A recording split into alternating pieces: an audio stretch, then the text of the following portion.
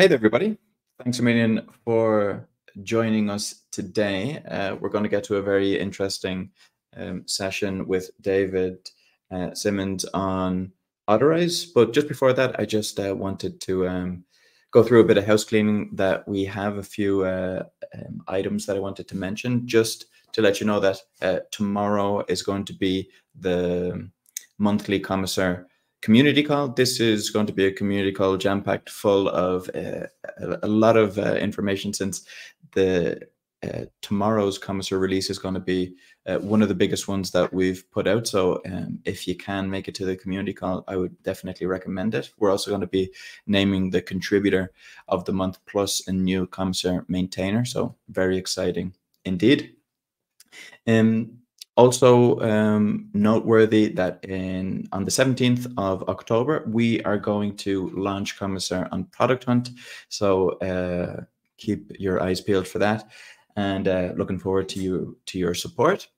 And um, that's pretty much it on my side. So for today's session, this is a virtual workshop like uh, any other, uh, in the sense that we're going to start off with a few questions so we can get to know our speaker and uh, their background. We'll then move on to a, a hands-on demo to get to know uh, the problem space and the tooling uh, more in depth.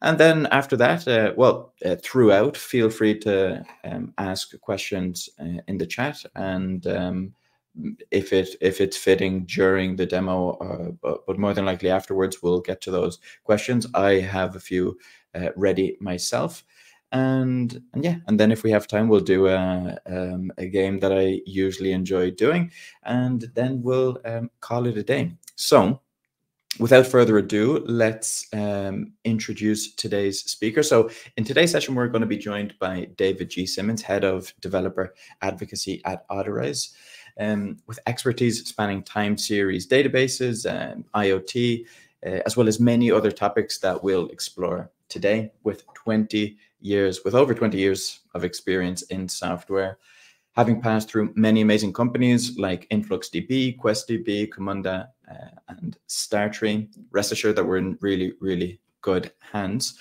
today. Um, he is really good at translating complex uh, tech into understandable language, and we really thank him for that. And um, and you can find him on X, formerly known as Twitter, at uh, DavidGSIoT. And uh, be sure to check him out there since his feed is always super active and very, very informative.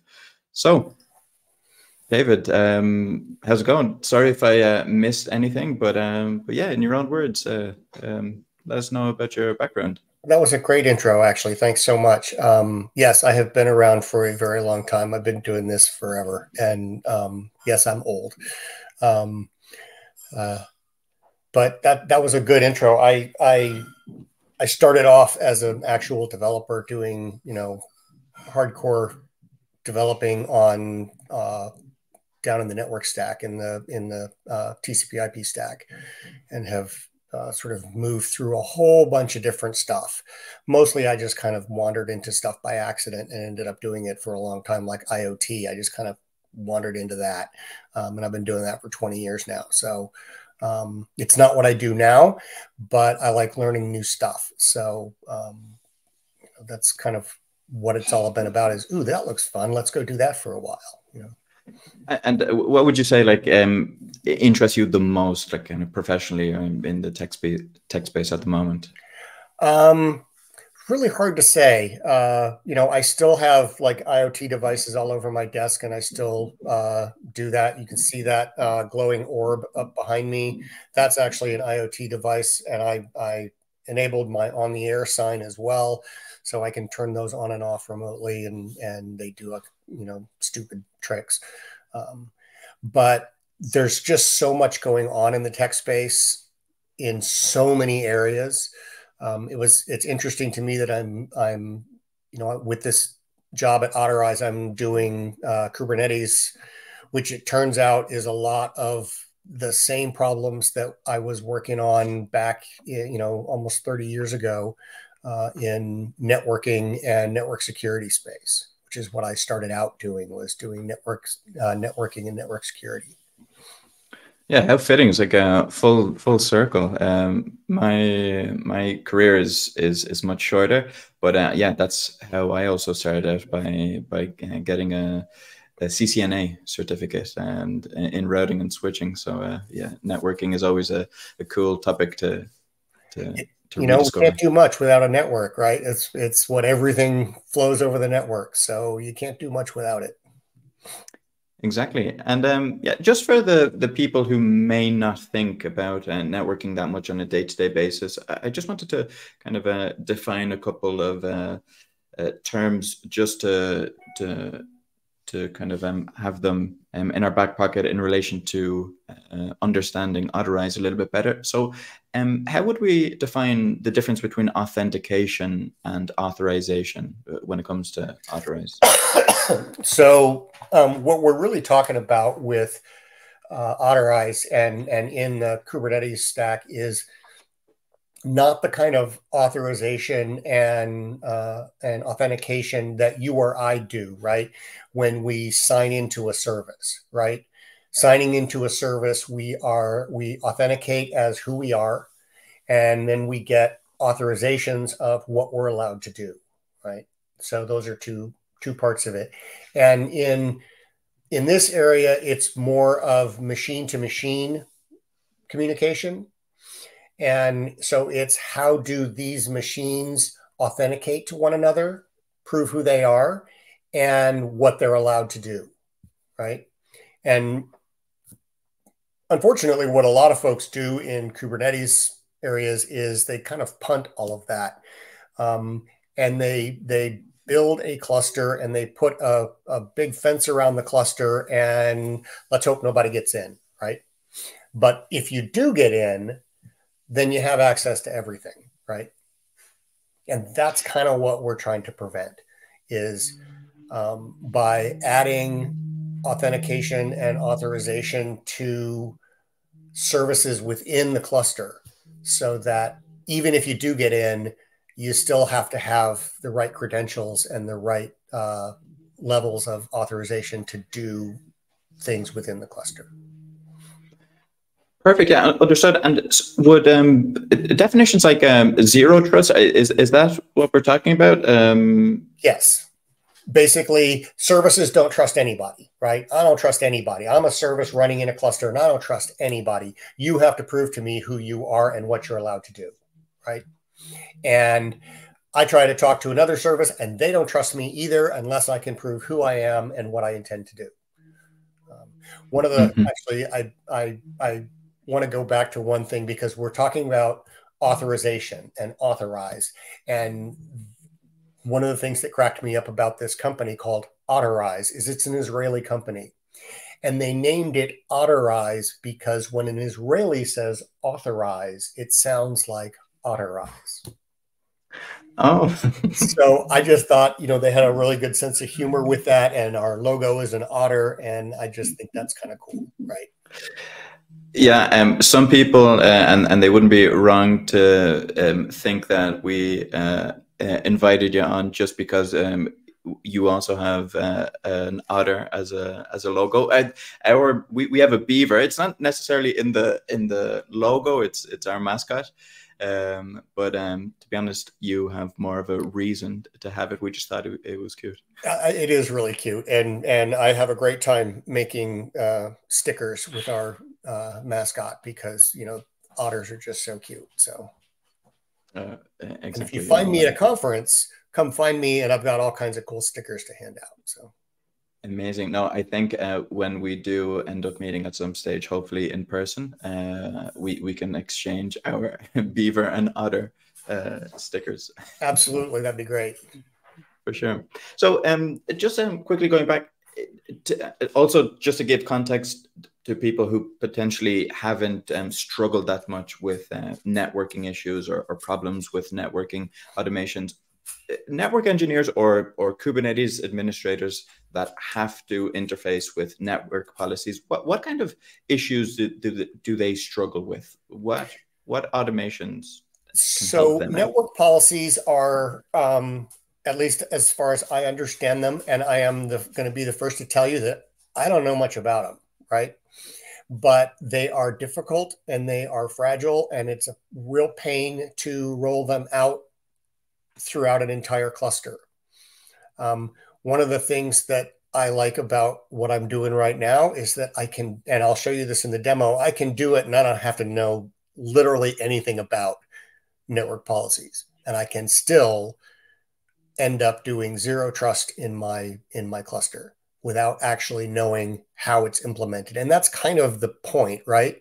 Is you shouldn't have to know everything in order to do these things. Now, back in uh, 1992, which is a long time ago, um, in order to do basically what I was doing, which was zero trust, uh, I had to write an entire version of uh, UDP that was um, fully encrypted, which was not easy, right? It's you can mm-hmm. encrypt stuff over TCP, but UDP is just kind of like fire a you know fire a packet and if it gets there it gets there and if it doesn't it doesn't but encrypting those packets and then when it gets there decrypting them is a whole different thing or at least it was back then so you had mm-hmm. to i had to like get really really deep in the in the uh you know ip code to be able to do that and nobody wants to do that right? Because that's just too fragile and it's hard to maintain and it's hard to pass that knowledge on and keep doing that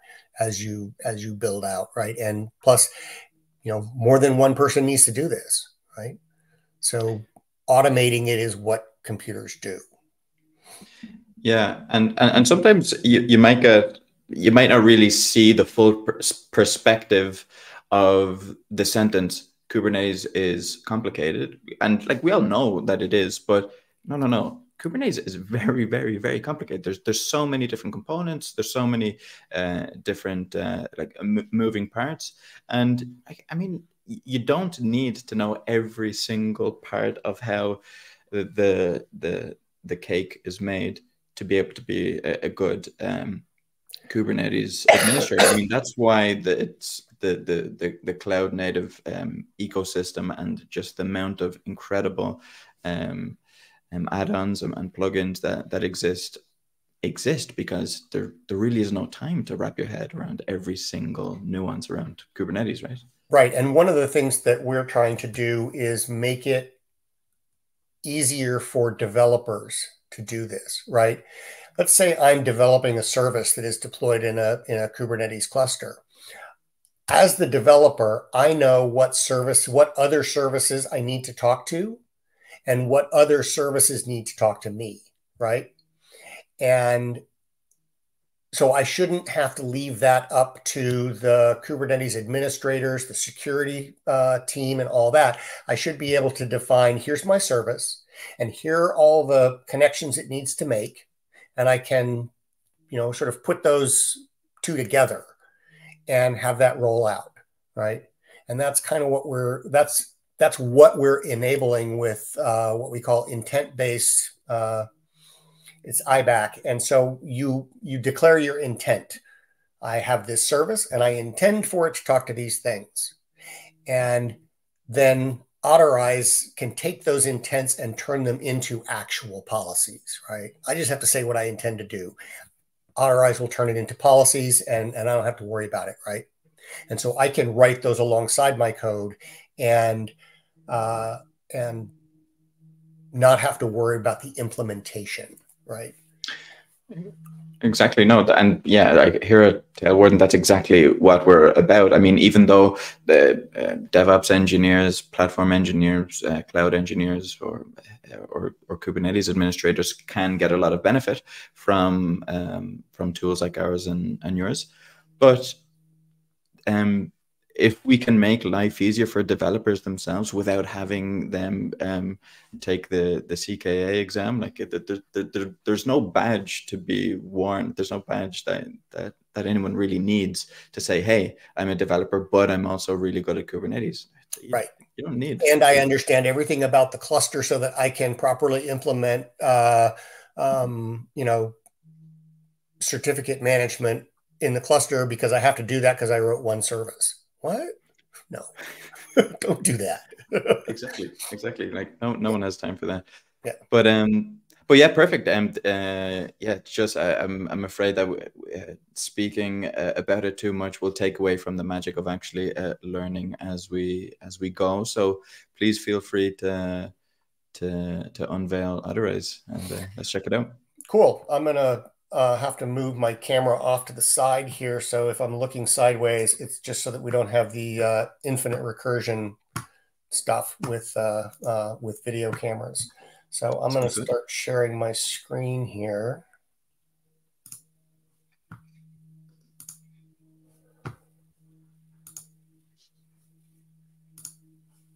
And I'm assuming you can all see that, right? Perfect. There we go. Yeah. So this is what we're talking about, right? And declare your intents, not your policies. And um, so I'm going to go through. I have built a cluster for this Tailwarden demo. Yes, it has low resource requests. I'm basically not doing anything with it, but I'm going to. So I'm going to go ahead and deploy a uh, um, I'm going to create a namespace here for our ecom demo, which is a big application that does a whole bunch of different stuff. And then I'm going to go ahead and deploy all the parts of it.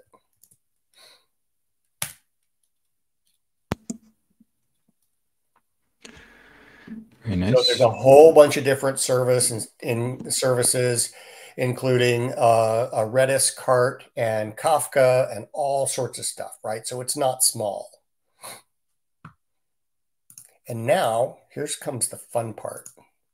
I'm going to go over to Otterize Cloud. I can do this uh, um, other ways. There is uh, uh, just command line. But first, I'm going to go ahead and add a cluster. And we'll call it demo. And we'll call it our bite-sized. And I'll tell you why I'm calling it bite-sized. All right. So we'll use Otterize Cloud to do MTLS credentials. So MTLS is another one that's really a pain to do, right? It's deploying uh, TLS certificates so that, but it's not just like on a web browser, it's basically one way, right? Um, I don't have to have the certificate. You have the certificate and I get it. And I'm like, yeah, okay, that's a good one in MTLS, we both have certificates and we both check each other's certificates, right? So I'm going to copy that.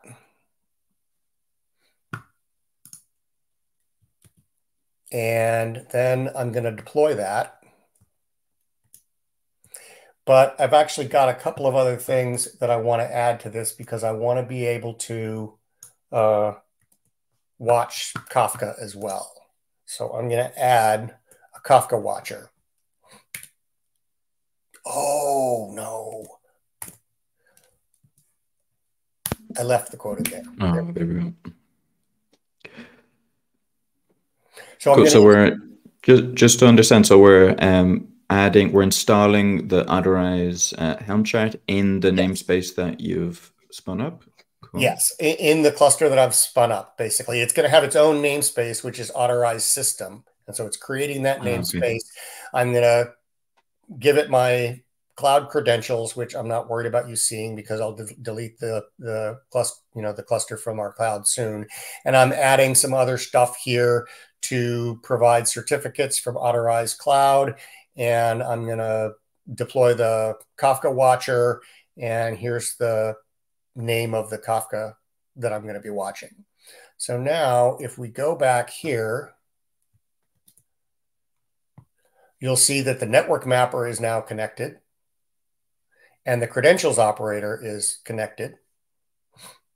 And it'll take a minute for it to sort of find stuff, but we should start to be able to see if we go and look at our cluster,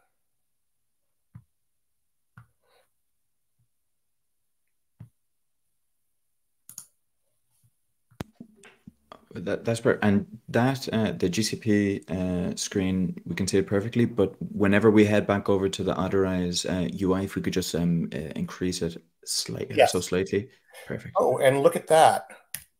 Oh. We have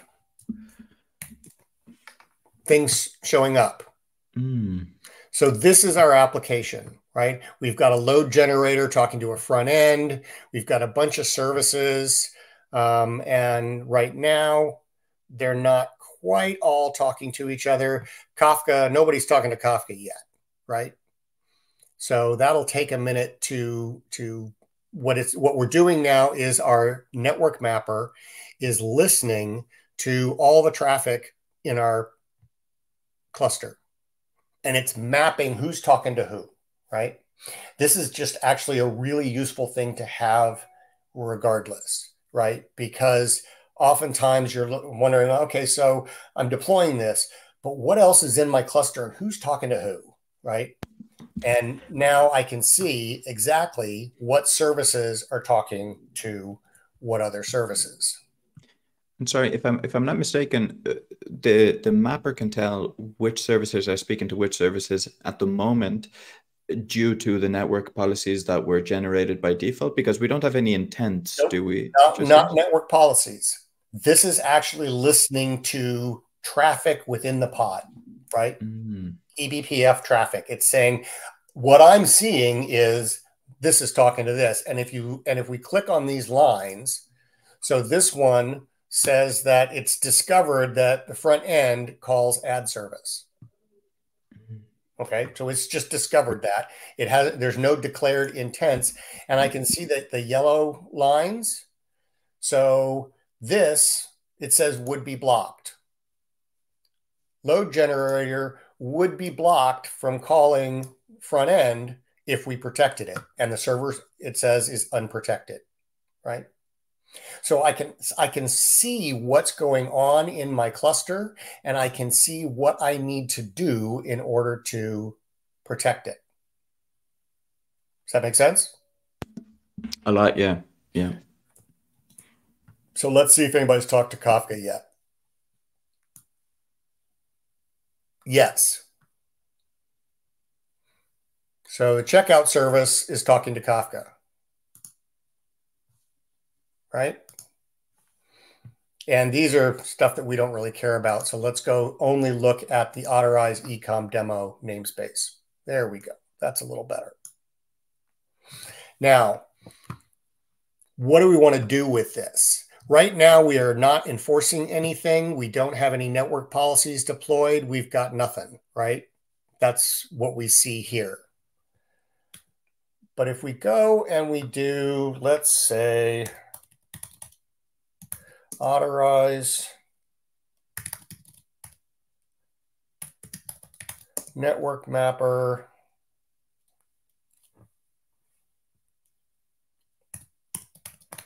Export the server. If I can type front end dot otterize ecom demo This will show me, remember, if I clicked here, it showed me the discovered intent that load generator calls front end. And here is that expressed in YAML, right?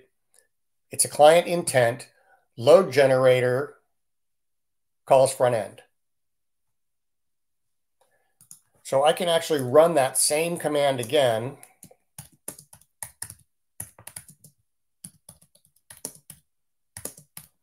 and pipe it straight to kube control.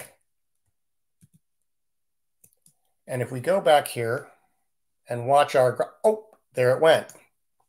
See that?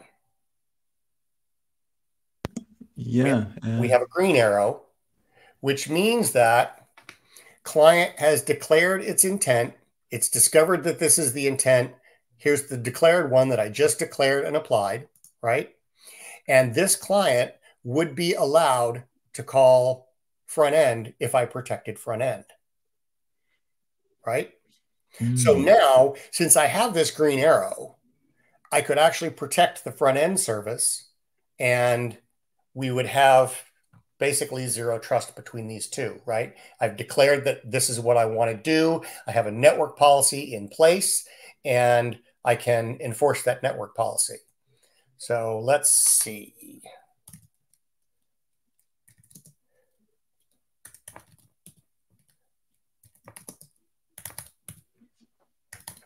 I have a YAML file here for protecting the front end. And these are really simple YAML files, which is also kind of nice, right? I am going to declare that it's a protected service, that front end is the uh, protected service, and I'll that's all I have to do, right? So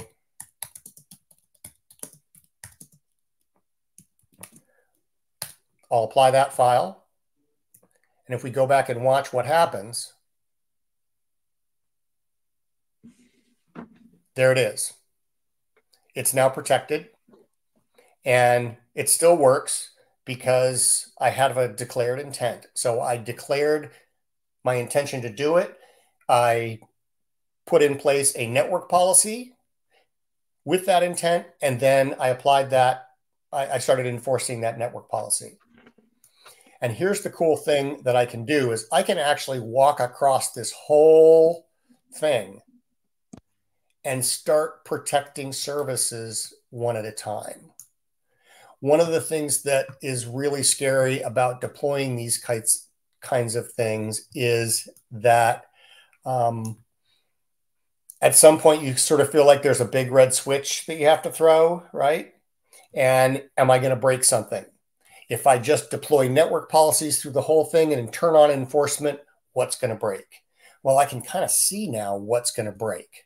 So let's go do ad service next. So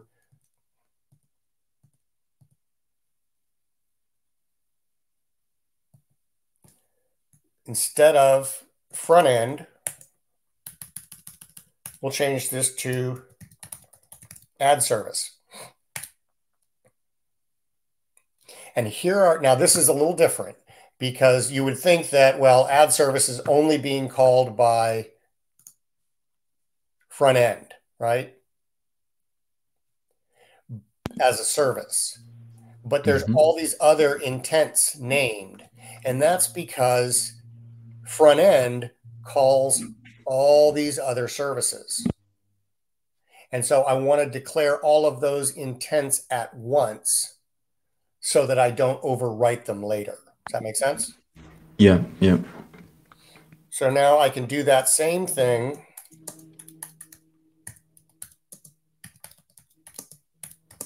But sorry, those intents were were picked up automatically, right? Yeah. Because yeah. Right.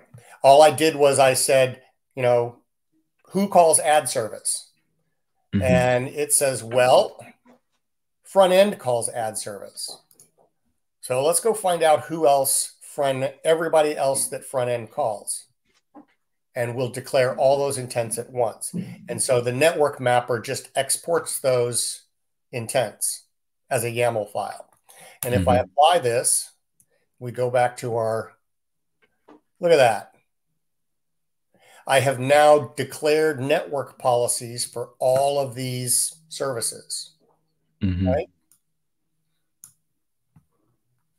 Now, here's a problem that I see. Front end calls product catalog services, but product catalog service is also called by recommendation service. So I can't just protect that yet, or this would be blocked, right? But let's stick with ad service for now. Mm-hmm. Right? It's only got one line coming in. It's green. So let's turn that one green. Sorry, I'm I'm actually uh, colorblind, so I thought the previous line was was green. Oh. What was the previous color? Uh, it's a sort of a yellowish orange. Oh.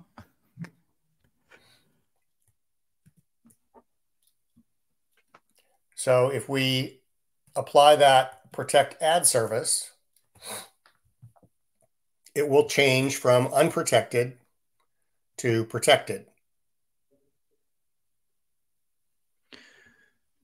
There Perfect. So nice. So so literally only front end is allowed to to communicate with. Right. With... So if somebody came in and deployed a rogue pod here and tried mm-hmm. to call ad service, they wouldn't be allowed mm-hmm. because they don't have the proper network policy. Mm-hmm. Now, notice I'm deploying network policies, right? Network policies are active per service protection, but I still don't know anything about network policies. and you also don't know how big that network policy is getting because right. uh, with so many uh, apps uh, in it that make up your your right your microservice there it's uh, it will get really big really complicated and yeah just the the way that you're visualizing it here is just makes it so easy to debug to know it does it makes things a lot easier to well first of all just here we go now we've now we've got somewhere because now mm-hmm. we can see that all of these other services are actually calling kafka right mm-hmm. so i could protect recommendation service here because I see that it's already got a declared intent. So there's a network policy coming into it. So I have a recommendation service protection file. Basically just says protect it, right?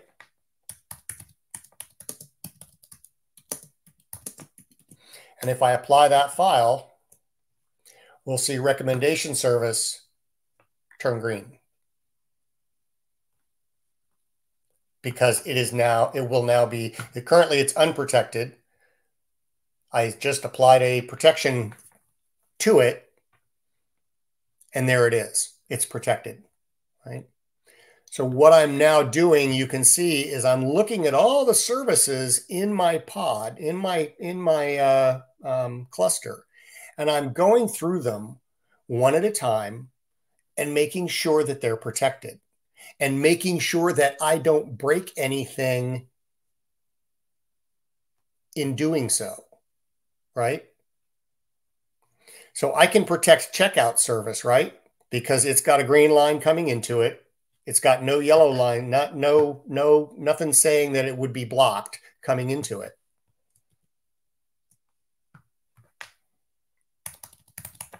So I'll call the Otterize, I can spell network, and I will export the intents from the server. And what was that server again? That was checkout service.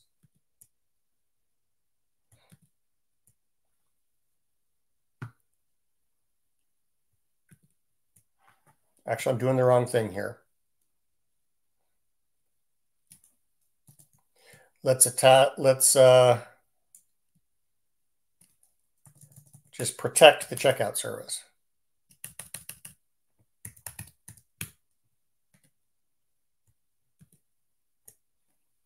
And we should see that turn green as and and get listed as protected because I just applied protections to it. There was nothing wrong with it coming in. So and there it is, it's protected.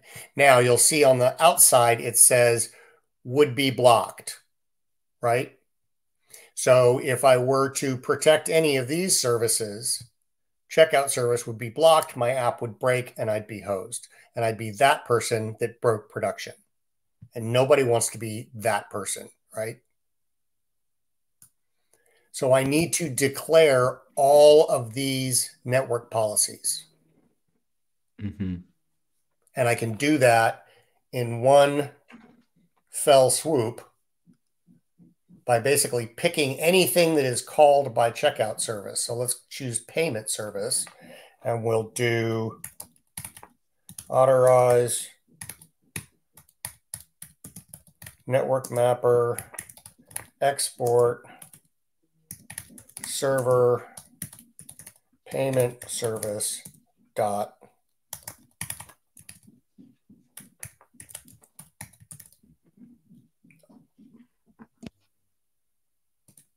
and we should see a bunch of network policies spit out, right? Those are all the services that come out of the checkout service, right? Here's the checkout service. These are all the things the checkout service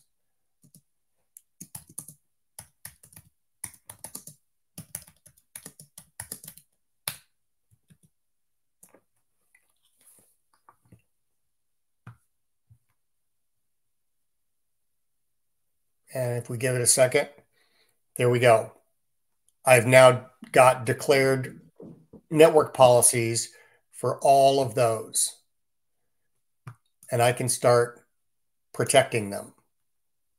Yeah, and, and at no point there there was any breakage, there was any uh, miscommunication. Right. right. So we can protect cart service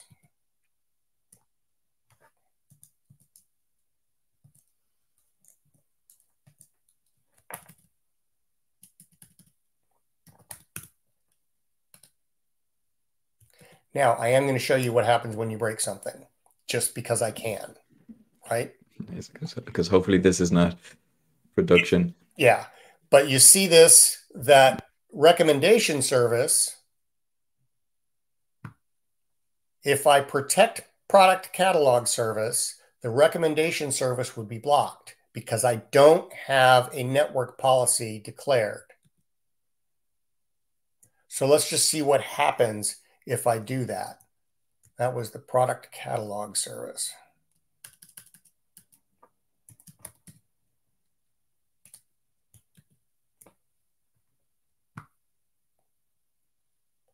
I am now the person that broke production, right?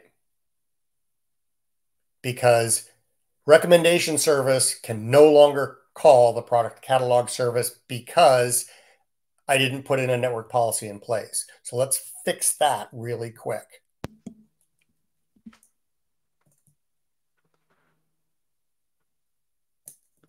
What was this one called again? Product catalog service.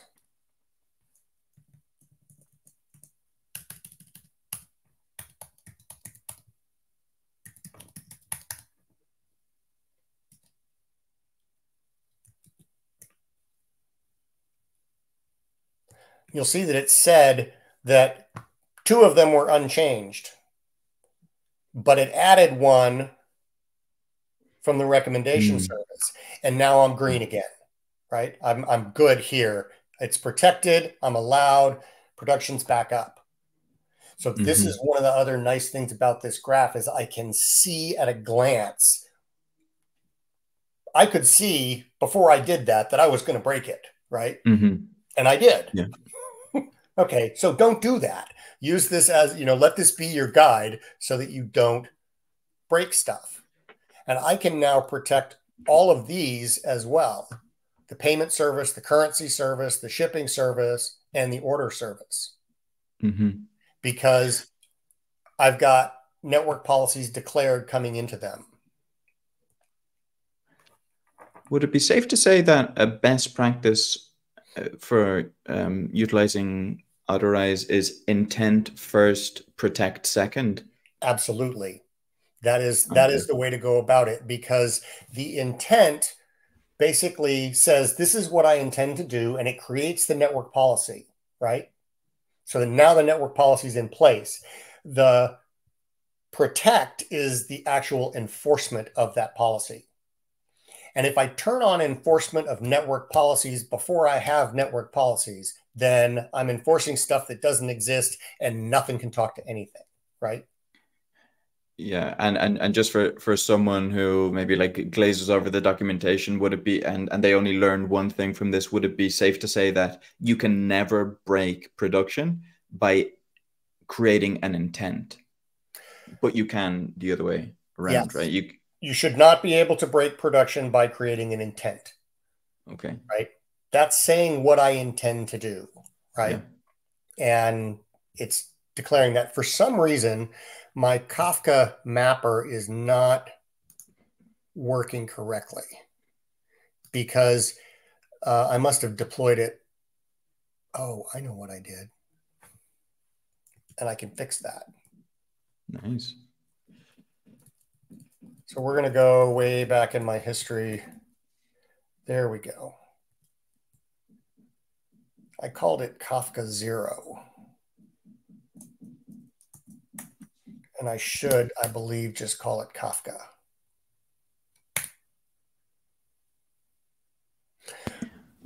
The reason I'm changing this is that um, I have deployed Kafka with it spitting out a bunch of logs. And um, we can actually read those logs and not just see that payment service wants to call Kafka, right? That's pretty simplistic. But we can actually map which, uh, you know, what exactly payment service wants to do. Is it producing to a Kafka topic and which Kafka topic is it producing to? And I can enable just that so that, uh, you know, payment service can produce to this Kafka topic, but it can't just randomly produce to other Kafka topics. It also can't read from random Kafka topics, right? So I can actually do these these Kafka ACLs this way as well, which is really quite handy. Um, but I deployed it wrong, and so we'll have to see if it manages to to get itself figured out. Great.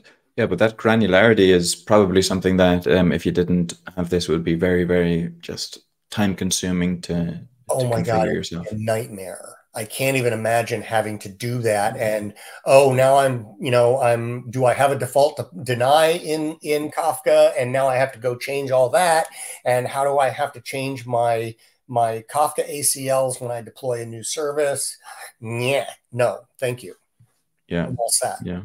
Right so we could walk through this and protect basically everything here until we get to all green, which I'm sorry you can't see um, the colors. And I should probably make a note to go and and do accessibility checks on it to make sure that people can actually see these things, right? Oh well, to be honest, I, I can I can actually see the the difference. It's just that they, they both look green to me, but, uh, but but that's that's really just me. So it may be a minute before uh, Kafka, the Kafka watcher, is able to figure stuff out about what specific topics. But let's do currency service and shipping service.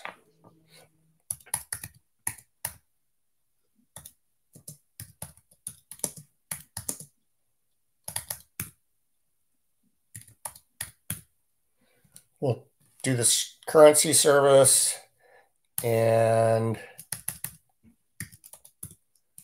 shipping service. And currency service and shipping service are now protected, right? Kind of cool. And it turns out that we're also doing uh, MTLS on all of this. So the MTLS certificates have been deployed as well. So what we're getting to here is zero trust, right? Mm-hmm.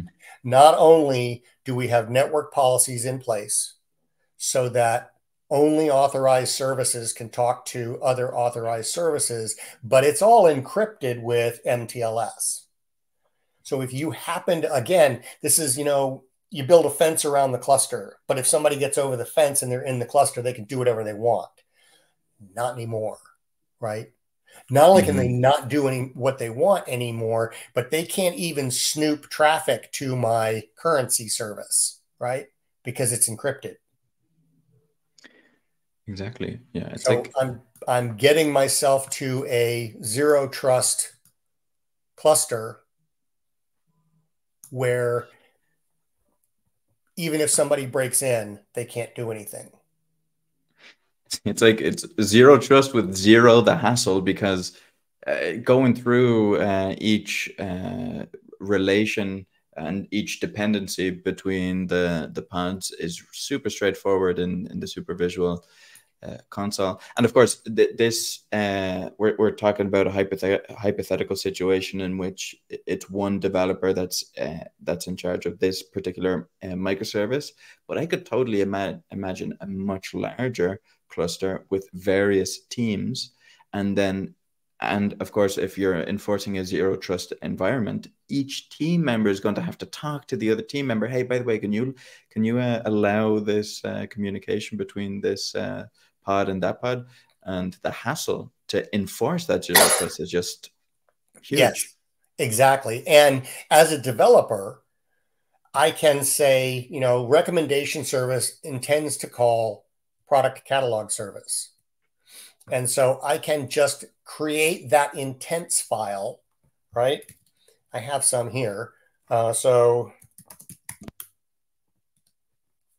right, if I'm developing the ad service, I can just just create this intents file along with my code and put it into GitHub. And okay, there's a whole CI CD pipeline, right? And as that CI CD pipeline is rolled out, guess what? These get rolled out with it.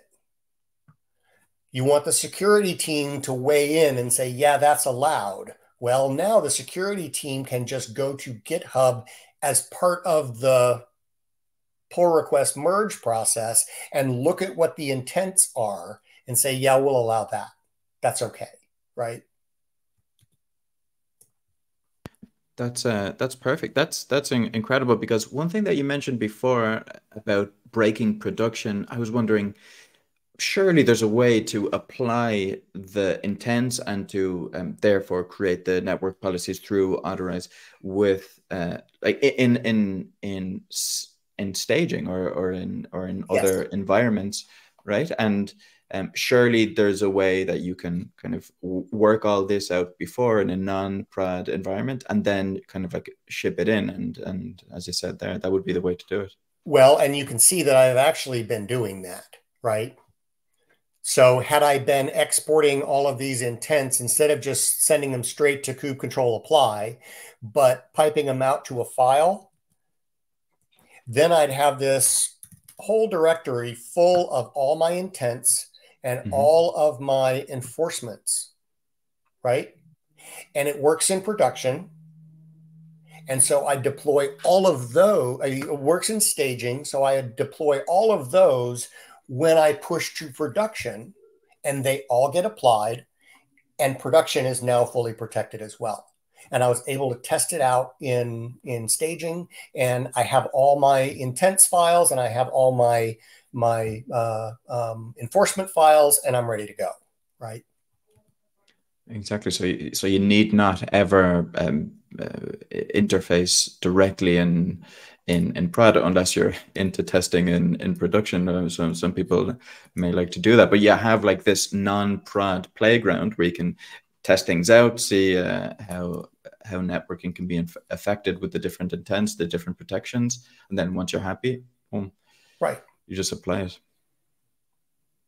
And it's really quite simple to sort of apply these things, right? Mm-hmm. And if I get a new service, I don't even really have to know much because I can go look. And in fact, that's how I created all of these protection files is I had one and then I just went and changed the names, right? From, you know, so from ad service to payment service. Now I have the payment service file that will enforce the network policies that I've created, and I deploy that, and I'm all set, right? Exactly. And I can walk through this until, you know, uh, yeah, my Kafka mapper's broken, but I can do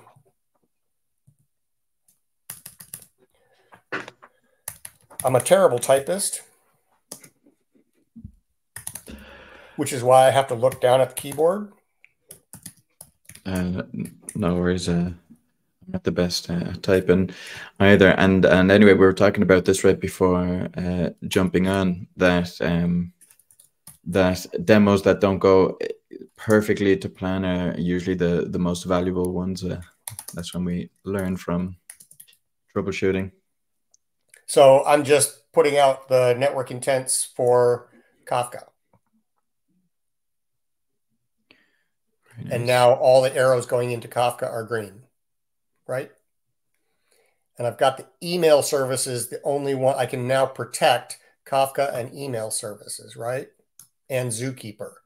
Mm-hmm. But now that I've got all of my arrows are, are green, which means that all of my network policies are correct, I can actually just apply enforcement across the board rather than going and doing it this way. So let's do go back to here where we deployed the the um, Otterize stuff. Mm-hmm. And back here where it says intents operator default shadow, we're going to change that to default active. Mm-hmm. And what that's going to do is it's just going to say everything's protected. I really hope you have your intents good because everything's protected. And if you don't, something's going to get blocked. So let's deploy that. And as that's deployed, we should see Kafka, Zookeeper, and email service turn protected. And there it is. I now have a zero trust cluster. Everything is protected by network policies that are enforced. And I'm good, right? Exactly. Yeah. Very, very cool. cool yeah. Yeah, no, very cool. And that just that last step there of that kind of like uh, across the board uh, protection again saves a lot of time. So we were calling this bite size because nobody wants to be the one that throws the big red switch and ends up with with something getting broken, right? So, yes, we're getting towards zero trust, but we allow you to sort of have zero trust in us at the same time by doing it one service at a time. I don't know whether this is going to work or not. So I'm going to just protect this service. Okay, then I'm going to just protect this service. And I'm going to work my way across my cluster one service at a time until I'm confident that, yes, this actually works the way it says it does okay, now I can just go and export all the intents from the whole cluster and apply them all. And then I can uh, turn the um, enforcement on for the whole cluster and just be done, right? But I don't have to do that. That's the big red switch, right? Yeah. And I don't have to do that. I can do it a little bit at a time to make sure that everything's going to work the way I think it's going to. And I'm not going to break anything, right? And this is something that the target audience, developers, understand perfectly, right? Because how is software created? It's created with incremental commits. If the yes. commits are smaller, better. And that way you have a quick feedback loop to make sure nothing's breaking. And so the same way that you do incremental commits as a developer, this is kind of like incremental networking. Yes. Something that probably wasn't possible. Uh, well, and and I can also, you know, as a developer, I know now that I'm deploying into a cluster that has uh, enforcement turned on. So I need to make sure that I have declared my intents before they get pushed to staging because I know that enforcement is on. And if I haven't declared intents, then it'll get pushed to staging and it will immediately be blocked because enforcement is turned on and I didn't tell it what network policies to create. Yeah. Now, here's the cool thing do you know anything more about network policies in in uh, Kubernetes than we than when you started? Not necessarily, no. Not really, right? Yay! I don't either. And I don't have to. I don't have to go dig into how are network policies written and how are they enforced and how are they rolled out. I, I don't have to do that. I just have to look at my cluster and say, here's what I intend to do. Here are the network connections that I intend to have. And here are the ones that I want to protect. And I'm done. Yeah. Yeah. I mean, what? Like, you definitely want to give people knowledge, but mm-hmm. Knowledge of what they want. I mean, they what what developers want is does this work or not? And I think just from so from seeing this now through this demo, I think one of the main value uh, propositions that Otterize seems to have is that sure, like we, we could do incremental networking, if we want to call it that, through very ever so slightly um, um, growing a, and adding to a network policy and, trying it out. But the thing is, the feedback loop on that is is is huge. I mean, we, we would have to um, edit the network policy, apply it, then test it out by by by um, by um, SSHing into the pod and then running a curl or something. Like it takes a long time to to make sure it's, it's working. And the feedback loop that Otterize can give you is just instantaneous. I mean, if you're not colorblind, the, those those lines will be able to tell you everything you need in no time. So, not. I mean, we sort of glossed over, you know, this whole the network mapper thing, right? In in a sense, but um, I worked back in in the in the 90s when I was doing all that security network security work. Um, I worked on uh, networks that were very very highly classified. Okay, um, it was where uh, all sorts of nuclear weapons data was stored, very classified, and we had network maps right? But they were basically on paper of what was connected to what. And we weren't entirely sure if that was accurate. And it turns out it wasn't.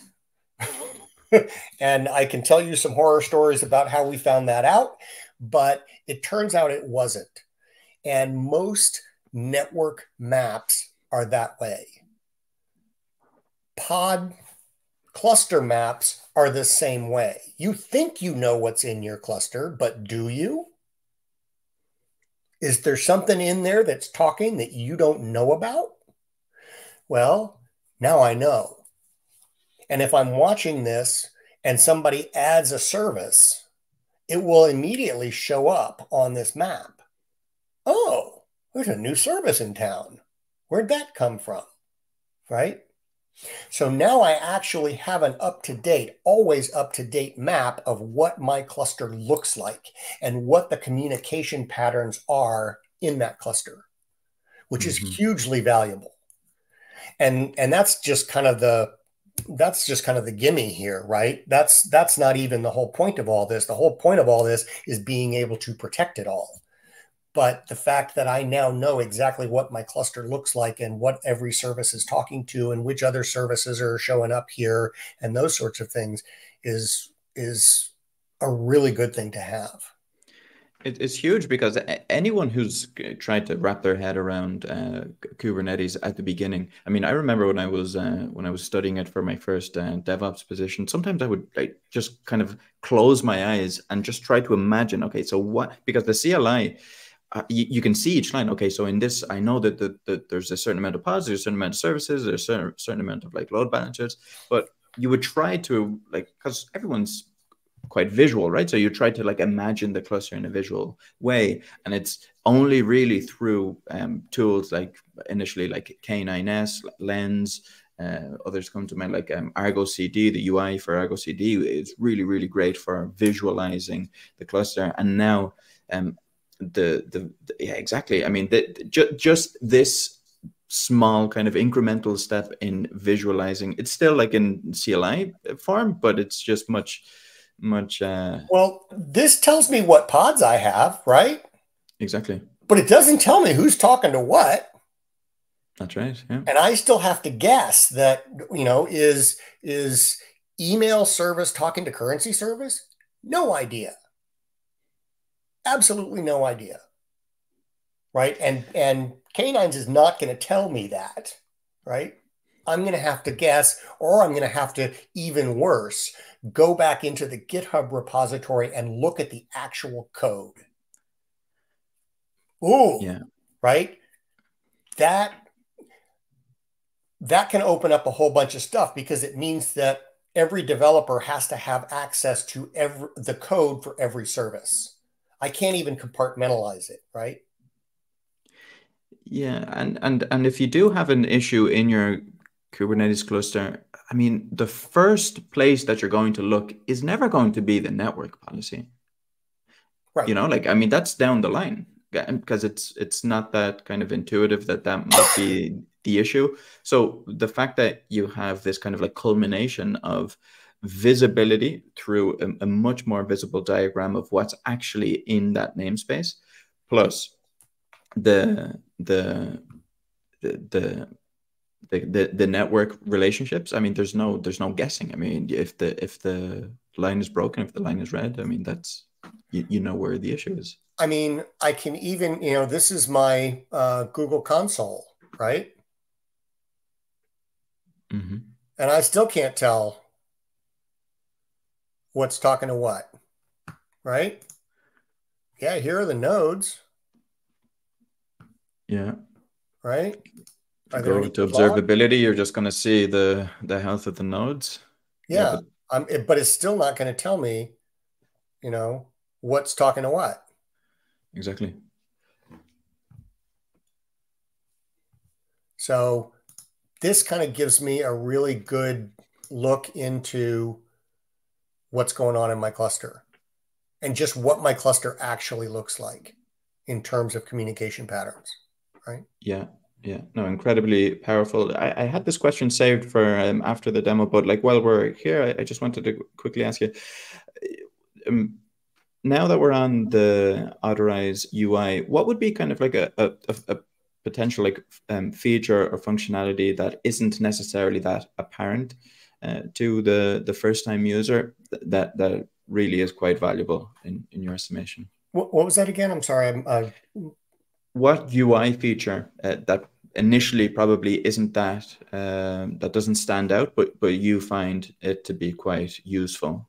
Maybe something that we haven't explored in the Otterize UI. Well, unfortunately, my my Kafka mapper does not seem to be functioning. I don't. I didn't deploy it correctly, but that's mm-hmm. a hugely valuable thing to be able to say, like, what, not just yeah, that's calling Kafka, but what topics is it producing to what topics is it allowed to you know read from and being able to set very uh, fine-grained acls on my kafka implementation is huge right? Mm-hmm. um, and i'm not quite sure how i broke that today but i always break something. So um, today it's kafka right? Um, that's it. Here's the other thing is that actually you can also generate this graph from the command line. It just doesn't look as cool. Yeah, I can imagine. Right? You can generate an actual image from this, but it just doesn't look as cool. Mm-hmm.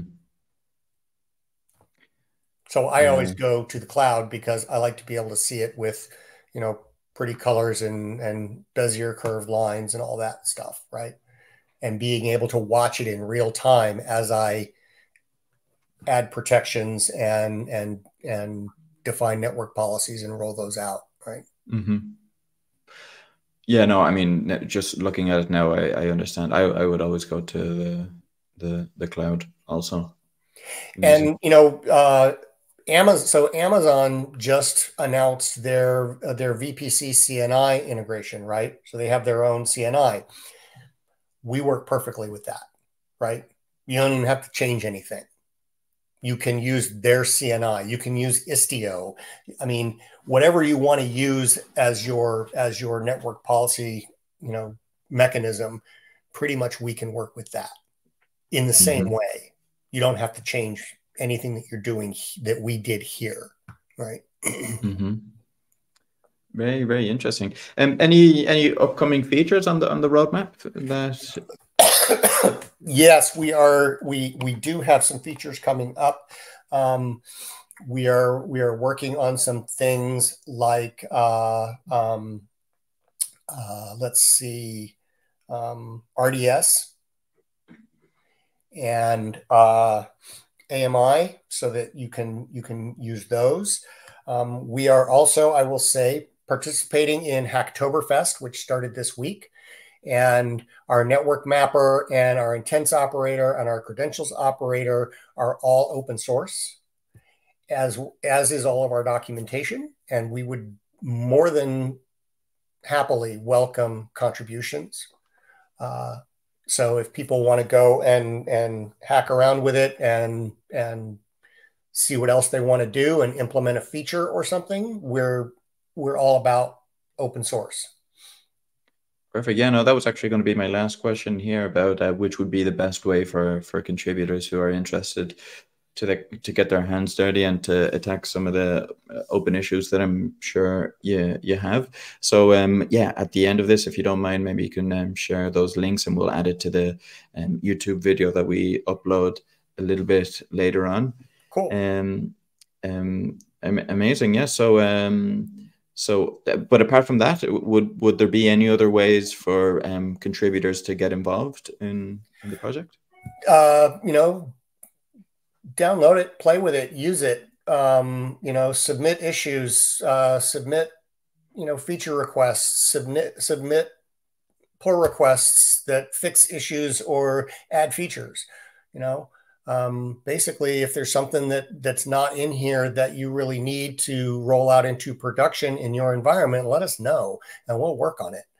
Um, we are absolutely 100% customer driven. So if we have a customer that says, "Look, we want to roll this out into production, but it's missing this," well, okay, you know, let's talk, and we'll and we'll we'll we'll work on that so that we can get you into production with this. Um, I'm I am, you know, I saw all this and I was I was just kind of blown away by by how easy it is to do this stuff in Kubernetes that is generally very hard right? Mm-hmm. You know, this turns rolling out MTLS and network policies from a project, right? We all know what a project is. You got to get, you know, management involved, you got to get security involved, you've got to get, you know, it's got a timeline, it's got a budget, and it's going to be nine months of incremental work to get it rolled out. This is not a project anymore, right? This is uh, yeah i can do this I, you know we we can we can roll this out next week right i can roll this out in my cluster next week and yeah. not break anything in production furthermore right yeah and and and you don't need a, a, huge security team to be sure that you're you're pretty well protected in your production environment right. i mean i can i can now show that i've got you know certificates deployed. I've got MTLS certificates deployed, and uh, and everything's protected, right? I've got network policies. Everything's good,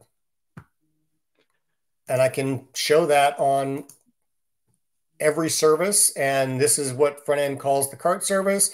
And I've declared the same intent, so we're sure that's okay, and it's protected, and we're all good, right? Incredible. Um, so, so yeah, David, we, we just went over an hour. I want to be mindful of your time. Uh, this has been incredible. Well, this is the end of the demo, so we can do whatever you want now. I have demoed all I have to demo. All my, you know, my clusters all green and zero trust cluster, and I'm all set. Um, well, yeah, I mean, I had a few uh, a, few things uh, planned out here, but um, to be honest, since you've already been uh, generous enough with your time, maybe we can leave it for another one. Sure. Um, but uh, but perfect. Yeah. So that was super clear. I, uh, we got um, a really really good insight into um, what issues that we can um, tackle now with Otterize without necessarily becoming network engineers. So really, really uh, appreciate it. Um, is there anything else you want to share? Anything else apart from the Oktoberfest? Uh, no, we are actually, by the way, um, for people who are participating in Hacktoberfest on our projects, we are actually still going to send T-shirts this year. I know Hacktoberfest is not, but um, if you, you know, if you get I think it's three pull requests uh, merged in our repositories. We'll send you we'll send you some swag. Very nice. Uh, worldwide. Yep. Nice, nice, uh, very cool. That's a that's a great incentive. So, David, thanks again. It's been an absolute uh, pleasure, and um, yeah, we'll be uh, we'll be in touch. We'll we'll see each other. Yes, absolutely. Thanks so much. This was super fun. Had a great time. Cool. Catch you next time. Okay. Bye. All right. Bye bye.